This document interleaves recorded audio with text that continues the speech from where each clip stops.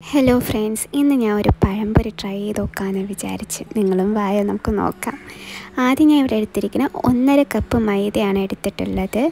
അതിനുശേഷം ഞാൻ ഇവിടെ മധുരം എന്റെ ഇഷ്ടത്തിന് ഞാൻ മൂന്നോ നാലോ ടേബിൾ സ്പൂണാണ് ഇടുന്നത്. നിങ്ങൾക്ക് ഇഷ്ടമുള്ള മധുരം കറക്റ്റായിട്ട് നിങ്ങളൊരു കൺവിൻസിന് ഇടാം. എന്നിട്ട് ഒരു പിഞ്ച് മഞ്ഞൾപ്പൊടി ഒരു കളർ സെൻസിന് വേണ്ടിയാണ്. അതിനുശേഷം ഞാൻ ഇവിടെ മൂന്ന് ടേബിൾ സ്പൂൺ അല്ലെങ്കിൽ നാല് ടേബിൾ സ്പൂൺ അരിപ്പൊടി നമുക്ക് എടുക്കാം. ഒരു ക്രഞ്ചിനെസ്സിന് വേണ്ടിയാണ് ഇവിടെ അരിപ്പൊടി ഞാൻ യൂസ് ചെയ്തിരിക്കുന്നത്. എന്നിട്ട് തുള്ളി എണ്ണ ഒഴിച്ചു കൊടുക്കുന്നുണ്ട്. ഒരു സോഫ്റ്റ്നെസ്സിന് വേണ്ടി.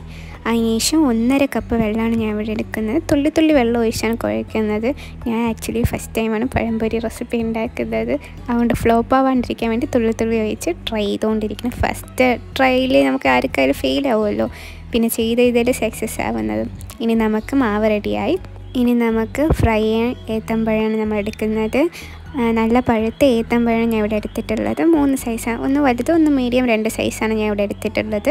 ഇതുപോലെ സ്ലൈസ് ആയിട്ട് ഞാൻ എല്ലാം കറക്റ്റായിട്ട് ഞാൻ അരിഞ്ഞിട്ടുണ്ട്. എനിക്ക് സക്സസ് ആവും പിടിച്ച് പിടിച്ച് ഞാൻ അരിഞ്ഞത്.